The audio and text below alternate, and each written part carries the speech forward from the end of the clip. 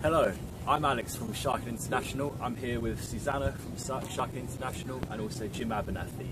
We've just seen his latest uh, video filming tigress sharks as part of his latest project, uh, Tears of a Mermaid. It's, it's so far received 1.5 million views in, in about two weeks and um, one of the fastest, mo most widely viewed shark videos uh, to date. So we're here to ask him a few questions about the sharks and the, the project. Well, thank you very much. It's really nice to have you here.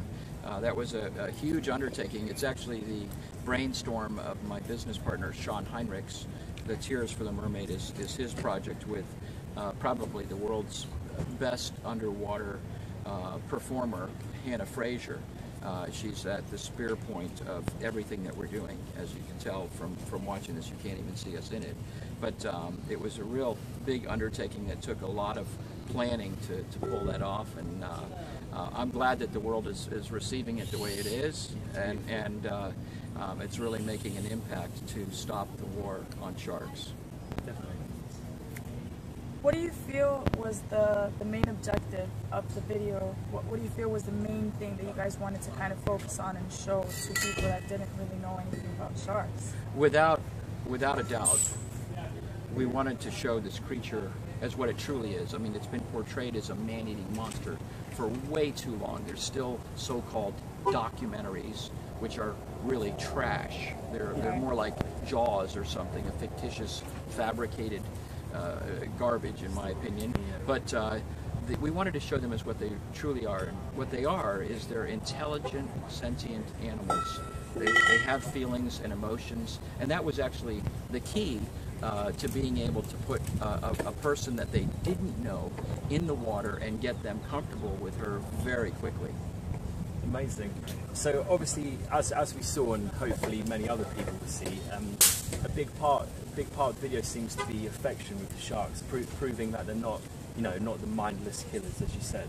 Yes, in the in the uh, making of uh, tigress sharks, um, we had to put a lot of thought into how to do this and how do we get an animal that comfortable. And from other things that we've been doing, my, my team aboard the Shearwater, we've been removing hooks.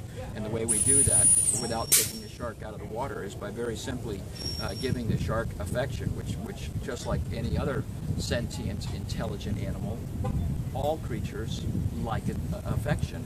And, and the shark's included in that. And uh, by giving an affection over and over and over again, for the last, uh, I'd say, six or eight months. We put down our cameras and just for the shark's affection. They're uh, moved up to a whole new level of what I call supermodels, and it's been uh, just amazing transformation. That's why Hannah Fraser, with no mask, no scuba tank, uh, no no air, was able to to go down there and um, perform uh, the underwater uh, ballet, so to speak, uh, with the sharks and, and, and, help us make this production. It was a huge effort from a, a team of about 15 people, so it was really big.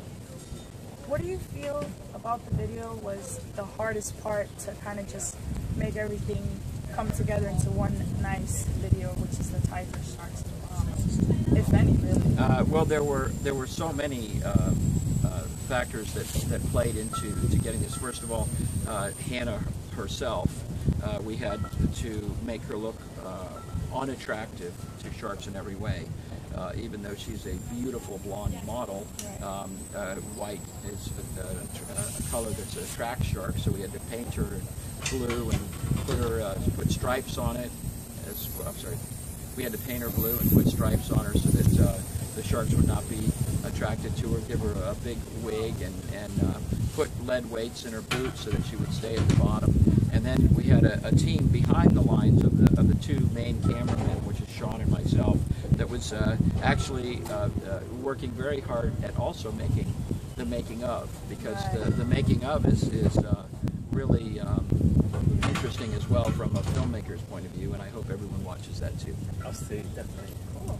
Well, they're about to go shark diving, uh, which is, I believe, why they're really here, and, and uh, so that they can go have fun with sharks. So we'll talk to you next time. Thanks very much. Thank you.